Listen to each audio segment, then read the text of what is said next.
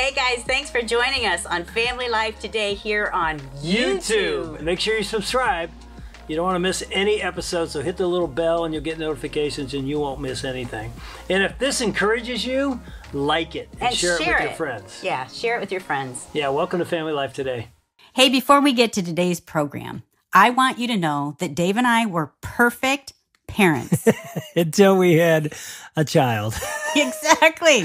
And we used to think there were perfect parents, but there are no, no perfect parents. And that's why we wrote the book, No Perfect Parents. And we're excited because now we have an online video course for you. And you can go through it as a small group, individually, or even just as a couple. And to get that, you can go to familylife.com slash not perfect to find out more. Again, familylife.com slash not perfect. Hey, Shelby Abbott here. Just want to give a heads up before you listen to this next program.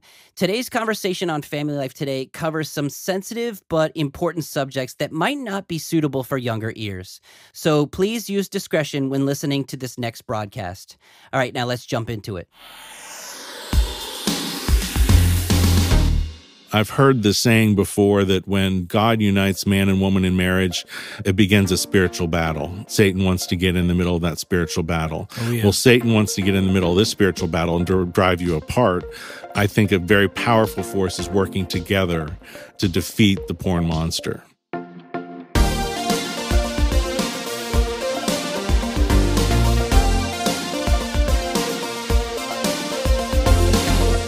Welcome to Family Life Today, where we want to help you pursue the relationships that matter most. I'm Ann Wilson. And I'm Dave Wilson, and you can find us at FamilyLifeToday.com or on the Family Life app. This is Family Life Today.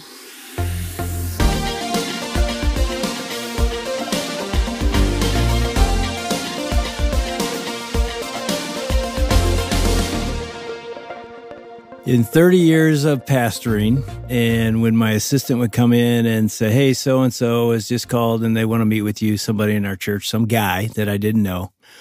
After 30 years i think i can say this i didn't do a, a study there's no science behind this this is some guy research.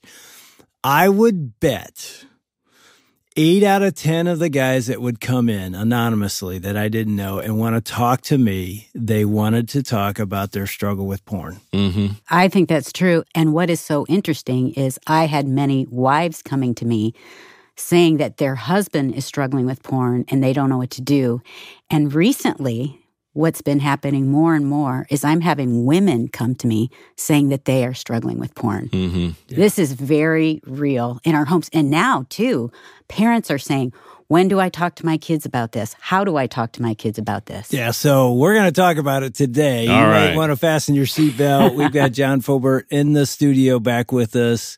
I don't know if they call you the porn guy, but you're the guy that has The anti-porn guy. science. on Yes, that's a good. That's a, I mean, you're the guy that we you go to to say, okay, how does porn harm? That's Yes. that's the title of one of your books. How does porn harm? Yes. The book we're talking about today is protecting your children from internet porn, uh, understanding the science risk and ways to protect your kids. And we've already had quite a discussion because you when when I say you're the guy that is anti-porn, it's because you have studied it from a brain understanding of science, the risks. I don't think we as parents and as husbands and wives understand how it harms us, Mm-hmm. like we've already talked about. Mm-hmm.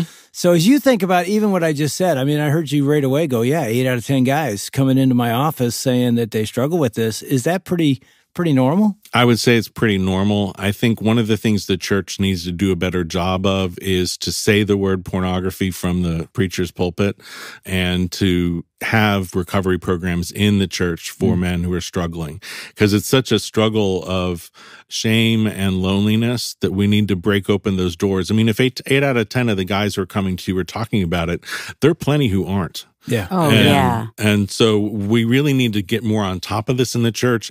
I think a lot of churches are saying it's not in our church, it's in other churches. And we really need to recognize that there's no church that's immune to someone who's being tempted by sin. And the sin that so many men and women are being tempted by is to look at pornography, especially because it's so accessible and affordable. And we need to do a better job confronting it in the church because I do believe the church is the greatest hope mm. uh, to get over the porn industry and its impact on our lives. And of course, eventually, when Christ comes back, the porn industry will see its demise. But mm. I'd like to see its demise before then.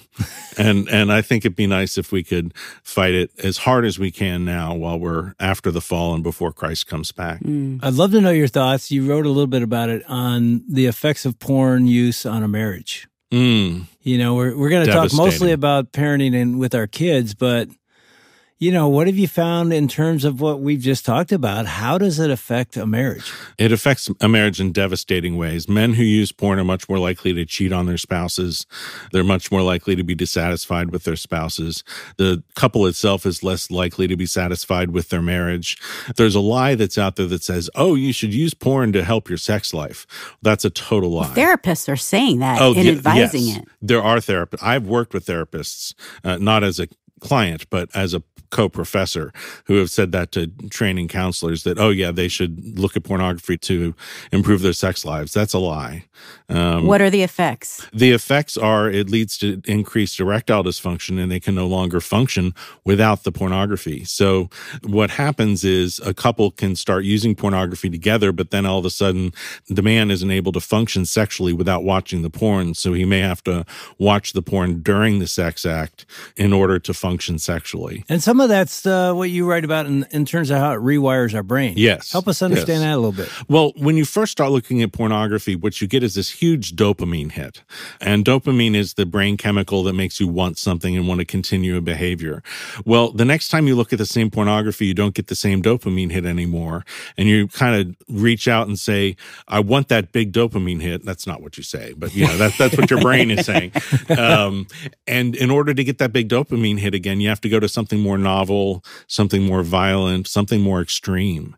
And so it leads you down a very dangerous path. And then eventually, all that you can be satisfied with is pornography. You can't be satisfied with a real life partner, let alone your wife or husband. Now, every guy I know, and every woman probably hears that and goes, "Oh, that's not me. John, I'm I, not gonna go down that road. I'm gonna stop at this point, mm-hmm. and that'll be enough." But that's not how the brain works, right? It's not how the brain works. Eventually, you you get trapped into more and more extreme pornography. Now, of those who are addicted to pornography, 60% will experience erectile dysfunction. So I do have to put a, a, proviso on that to say not all will experience erectile dysfunction, but they will be more attracted to their porn than to their spouse. Oh, John, this is so depressing. It is. I'm just listening to this thinking about women that are listening. Yes. Some are thinking, I wonder if my husband is struggling and maybe they've yes. never even talked about it. Yes. Do you think that's a good question for a wife to go to a husband and say, is this something that's you have struggled with? I think that is a good question for a wife to go to a husband with because I think it sometimes can open the doors to him getting the recovery resources that he needs. Because a lot of men who use pornography think that their wives won't be understanding at all. And I think if you can approach it from both a this is sin and this needs to go but also I'm here with you and I'll pray with you to see that it goes.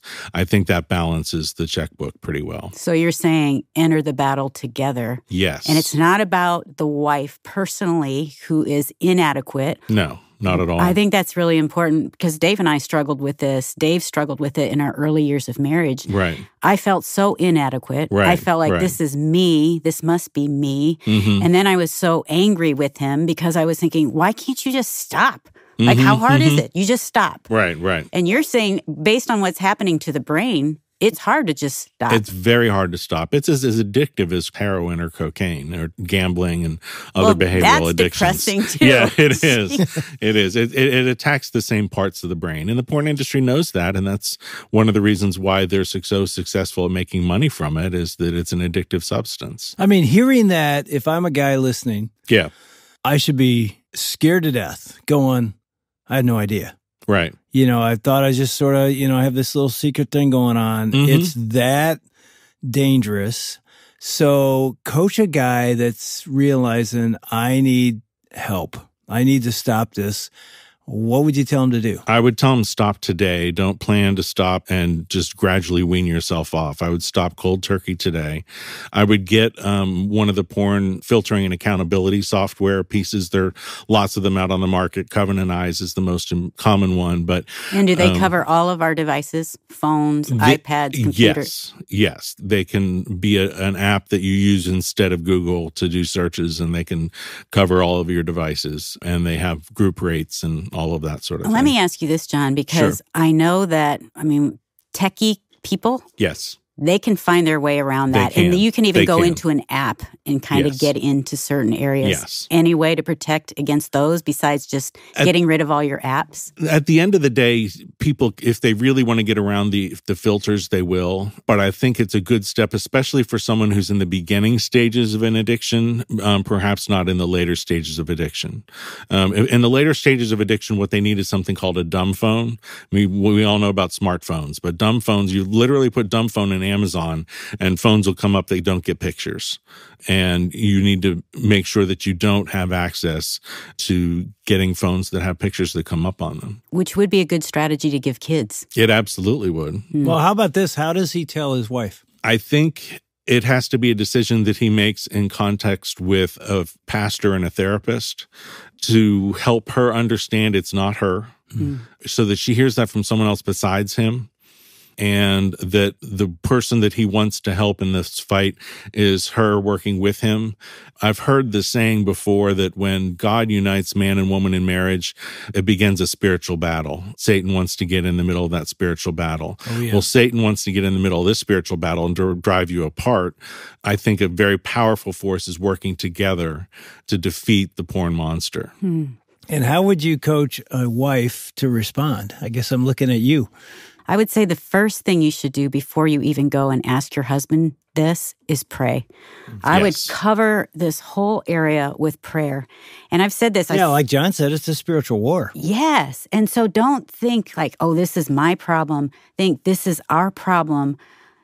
And I would pray earnestly before, middle, and after, because even after you've had that conversation, I know that Satan, man, I would get in my head and I would struggle. And then I'd be so fearful. I would feel like, oh, I need to be his protection. And then I'm constantly asking you, did you look at anything? Did you see anything? I saw you look at that girl. What was that about? Mm. And so then I become this irritating and I don't think we as women know exactly what that looks like or how we should step in and help. John, what do you think? Well, I think we need to maintain a spirit of prayer in that. And mm you, you talk about praying a lot. I know that when I'm really in a spiritual struggle, I maintain a spirit of prayer, which I call more ongoing, constant prayer. Yeah. And if I know a prayer warrior that I can trust, I ask them to join me in that. And I think it's important for the woman to realize it's not her fault yeah. that her husband is engaged in this behavior, but there are ways that she can be supportive to him, especially by praying for him and praying for his strength and praying against the porn industry mm-hmm. because that's who's uh, really fighting for the sexual desire of your husband, and they can't have it. Do you think a husband should ask a wife if she's struggling? I don't think it can hurt to ask. Mm-hmm. I would say this there's not a big difference between Christian men and non-Christian men in their porn use. There is a difference. That is scary. But there's not a big difference. To hear that. It's really not that big. There is a big difference between Christian women and non-Christian women looking at porn. There are a lot more non-Christian women looking at porn than Christian women. So what it could come across of is I think among Christian men, if they ask their Christian wives, Are you looking at porn? It can come across as a little confrontational. Yeah. And I'm not so sure, unless I had reason to suspect it. Mm. I think pornography is a rite of passage within boys and men. And whether you're in Christian circles or not, it's become a rite of passage. Wow. And it's something that we need to deal with head on. And it's something that I think the men's market got hooked early.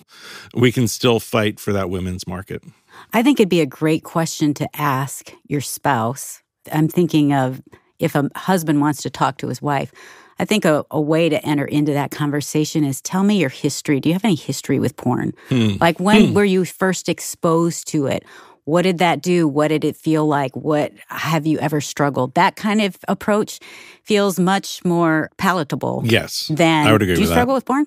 Right, right, right, right. Yeah. And even for a wife to ask a husband that, because I feel like too, that can be an area that's so filled with shame. Mm-hmm. Mm-hmm. But to open the conversation with a couple could be really beneficial. And even asking our kids that.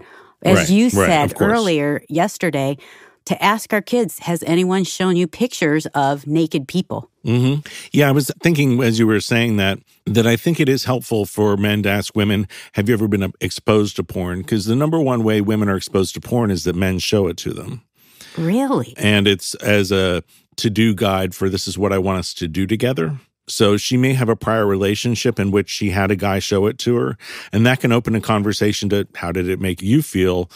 Did you find it attractive? Did you find it disgusting? And a lot of women in the beginning stages will find it disgusting, but there are women who do get addicted to it and do look at it with some degree of frequency. Hmm. Yeah, and I and I'm thinking, you know, we talked yesterday about talking to your kids about this and how scary that can Yeah. be for a parent. I'm Yeah. thinking this is just as scary for a lot of couples. They're listening right now, going, "What in the world? We're going to have a conversation about this?" And you said yesterday, man, this should be something you talk somewhat regularly with your kids. What about a marriage? Is this something we talk about every month?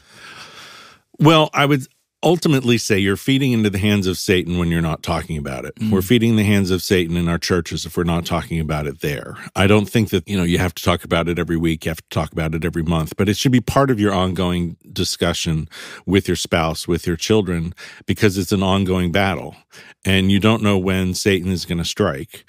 And he does with great frequency with the porn industry. And that's something that I think we need to work together, arm in arm, to get over.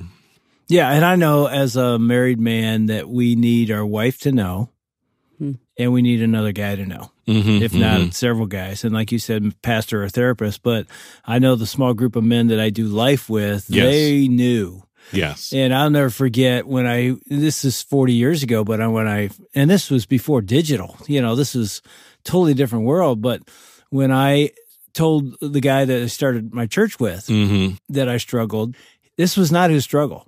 Right, And so I'm like, dude, I'm telling you because I want you to hold me accountable and I want you to. It was six months later when he, we're in the car one day and he goes, Hey, you know, just think about this. You ever struggle with that again? I go, dude, it's been six months since I told you you're not the guy. in other words, he's like, What do you mean? I'm like, This is not a once every six month struggle for somebody. right. It's a daily thing. right. I need somebody that understands that it's going to be regular. So I think there's some of that, but you don't want your wife asking you every day. no, But no. there needs to be an understanding that yeah, this is something that if somebody's ever like Ann said, if you have a conversation, there's a there's a history. Mhm. That history doesn't just end. It's going to No. be something that that person's probably going to have to wrestle with, maybe their whole life. And well, there's and hopefully it to be- ends at some point. Yeah, But- exactly. But the struggle isn't just boom. Right, You know, right. well, and there's be able to something that I. I want to pick up on that you said there wasn't digital. The digital pornography is one of the things that was really the game changers. Once high speed internet pornography came into play, Hmm. the number of images that one could see all at once and then just click on any type of scene that you wanted to see in an internet website was an absolute game changer because it introduced what uh, neurologists call a supranormal stimulus, which is the kind of stimulus that our brains weren't designed by God to deal with. So we have all of these stimuli of naked pictures of people, and we can choose from any kind of picture we want and look at almost anything that we want, which is very different than from your grandfather's Playboy magazine. Hmm. And it's something that has affected the addiction rates to a great degree. And it's something that really traps our kids, our adults, all people in a, in a greater way than the pornography of old used to. I mean, that is just scary. Isn't it? You know, you hear It that, is. and like you said, we should be vigilant against. We got to stop. we have this. to be. That's We the have word that came to my mind too, Dave, was vigilant. We, I mean, can't, we can't be lazy. We can't be passive. No, It's a battle it is. that we have to enter into. it is. And I'm here to rile up the troops. yes. We had Ray Ortlund on not too long ago. He wrote a book called The Death of Porn. That's a great book. he was fabulous.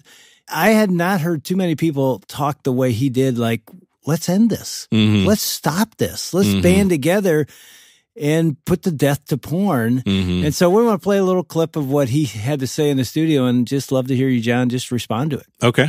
Uh, I use the hashtag starve the beast. Hmm. It can't endure that. It is not as formidable as it appears. It is we men and Christian men who are enabling it and supporting it. What if we didn't do that? I want to see a great awakening. Hmm. Yes, I want to see a great movement of God in our generation. What if the next great awakening starts inside the porn industry? Yes. Hmm. What if the risen Jesus visits with grace and mercy the precious people down deep inside the porn industry right now? Hmm. What if 10 years from now, the most captivating preachers of the gospel in this country are ex porn stars? What if the best storytellers for the gospel are ex porn videographers? What if the most generous philanthropists are ex porn investors? The risen Jesus is well able to do that. Would we not love to see that? Wow. I mean, yes, we would love to see that. There's no question about it. I've talked to people who have been involved in the porn industry and who and who have left it, and they tell me about stories of them being in poverty and having to make a decision between doing a porn scene or having them and their three children homeless the next day. Hmm. I've never been in that kind of poverty before. I don't know what I would say. But even in that situation, there was more trickery. And she said that she saw the people who were raped in the porn industry and that it's a horrible, violent, awful industry to be in. It's not like everyone's having sex with attractive people and boys and this fun and exciting. It's very mechanical. It's very businesslike and it's, it tends to take advantage of people who are in poverty who really feel like they have no other option but to make money this way. And they don't make a lot of money for the most part. Most porn stars will live out their welcome within about six months and go home with nothing in their bank account. So, um, Except the scars that they carry, well, the yes. wounds, the shame. I can't even imagine. And those images will be out there forever. yeah. So, Yeah. I remember when Ray was here, it was just this uh, awakening of, you know, we just tolerate this. This is Yeah. the world we live in. Yeah. We're not going to be able to do anything about it. And, and I think his vision was wait a minute. What if God wanted to use us, the church, as followers of Christ, to come together and say, we shouldn't be the ones supporting this. It's, Right. It exists because we ingest it and we could band together and stop it. That's a whole different vision. it's a whole different vision and it's one that has to be sent. And I think it's why some pastors are hesitant to bring it up in their conversations in churches because they know so many of their men are using it and they Yeah. might experience some pushback. And they are too. And they, Some in some cases, some of them are too. Yeah. Not as many as the porn industry says they they Right. are, but but still, some of them are too. So we need to have an honest conversation in the church about porn. Well, as I'm listening to this and was listening to Ray as well, I get so riled up, you guys. I get Good. so riled up. And I feel like, even as you were talking, John, I was thinking, I want to pull as many women together to pray for our men, to pray mm-hmm. for this industry, mm-hmm. to be vigilant, to pray for our children who are mm-hmm. being exposed to this, because Satan is on a mission to destroy our families, our marriages, our kids. And I think we forget that we serve this mighty God who's the creator of all heaven and earth, who has the power and capacity. And if we reign together and we lift our voices up together and we pray for protection, we pray for freedom, and we pray that God would give us wisdom of what else can we do. But we need to mm-hmm. fight alongside of our men instead of mm-hmm. condemning our men mm-hmm. and shaming them for what they've done. Let's band together to love, support our men, our children. I think it can be done.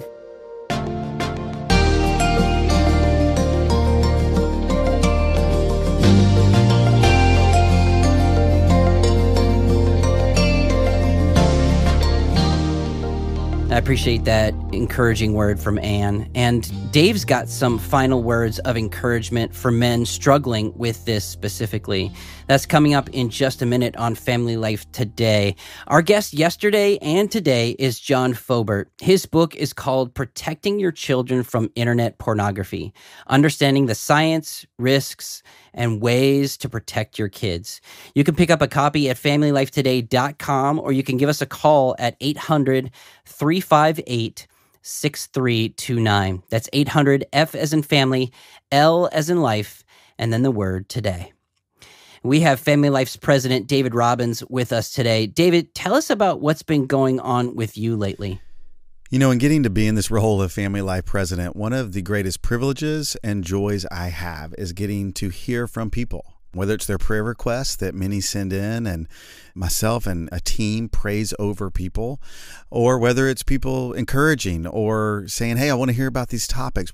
We recently heard from Mary Ann, who's a frequent listener, and I'd love for you to hear what she shared. Uh, this is Mary Ann when I do get to listen to Family Life, I just find it so nourishing. It speaks into a different level of family life for sure, and the different venues that you offer for that, whether it be young, middle, or older families, is just so fruitful. And I love the transparency and the intimate kind of flair that I get from uh, Ann and Dave Wilson. It is so encouraging to hear from Marianne. Thanks so much for calling in and leaving that message. And one of the things that encouraged me the most was your encouragement of us ministering to different stages and seasons of life, which is something our team is really intentional about. And each one of us have different friends in different seasons. We know people who are newlyweds, we know single moms, we know people who are empty nesters for the first time, and everywhere in between those with young kids in the house. So, if you're listening to Family Life today and someone comes to mind that you think would be blessed by what you're hearing, I just want to encourage you pass it on to them. Tell them when you're listening to Family Life today. If you're listening on radio, go to your favorite podcast or to the Family Life app and send a direct link to the episode you're listening to. It is our privilege to create biblical, practical content that will help you in your marriage and family and home. And we want to encourage you to be someone that passes it on to someone else and reflects Jesus to the people God has placed in your life. Yeah, those are great thoughts. Thanks, David. You know, I love that family life goes right at topics like the ones we've been talking about today and views it through the specific lens of the gospel. I'm so thankful we aren't afraid to talk about the real world stuff many of us are facing each and every day. And that's why your partnership matters.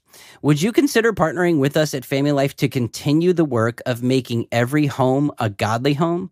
You can give online at familylifetoday.com or by calling 800 358 6329. That's 800 F as in family, L as in life, and then the word today. All right, here's Dave with some encouraging words for those struggling with the sin of pornography.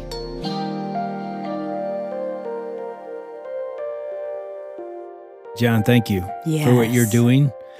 You're stepping into a you know a minefield. A war Just, zone. Uh, saying Yes. I'm gonna I'm gonna let you know what science says, what's going on in the brain, how pornography harms, and how it harms our children. So thank you for that. But I don't. I would also say to the man who's struggling right now, to the husband that's listening, you can win this battle. You can. Mm. In absolutely Christ, can. you have the power of the resurrected Christ living Yeah. in you. I've Yeah. been in that battle. I know the struggle. I know how real it is. I know the burn that sometimes you're like, this temptation is beyond what I can master. You can. Mhm. You've won. Actually, you can't. He can in you. Yes. But Yes. man, if you are living in that and you're struggling and no one knows, you got to tell somebody today. Yes. Yes. Brother, and then it's going to be a scary step, but tell your wife. Mm. And I know it's going to be hard and it may not go well because it didn't go well with us. but now looking back, it led us to a place that's better than we would have ever gotten to if I would have never said, This is my struggle. So I think today's a day of a step toward deliverance. Well, and the Bible tells us to tell others. I mean, in James five sixteen, Yes. you know, there's Confess your sins to one another. Yes, absolutely. So that Took you may be right out of healed. my mouth. Mm. Yeah. so that you may be healed. And I think the healing in some ways is once it's out from the dark into the light, Yes. God can start to do the healing until it's there. It isn't like God can't work, but Right. you're limiting God to be able to work because you're not letting anybody in, your spouse. Right. And the same thing, we've said it yesterday, but the same thing's true it, talking to your kids about this. Right. You've right. got to create an environment where they can come out of the dark and trust mom and dad Right. and start a conversation. And just in case you don't remember, we have a great resource called the Passport hmm. to Purity, which starts a conversation with mom and dad or mom or dad with son or daughter about these kind of things. And it's a journey toward a life of purity. You heard Dave mention Passport to Purity. If you want help talking about these issues with your preteen, this resource will set you up for a win. You can find it at familylifetoday.com. Just look for Passport, the number two, and then Purity. David Ann's conversation continued after today's broadcast with John. You can hear it on the Family Life Today podcast feed. Just search for Family Life Today wherever you get your podcasts. Now, coming up next week, we have David Ann Wilson talking with Jessica Thompson about how the fruit of the Spirit isn't something that just relates to pastors, missionaries, or full time Christian workers. It relates to you too. On behalf of David Ann Wilson, I'm Shelby Abbott. We'll see you back next time for another edition of Family Life Today.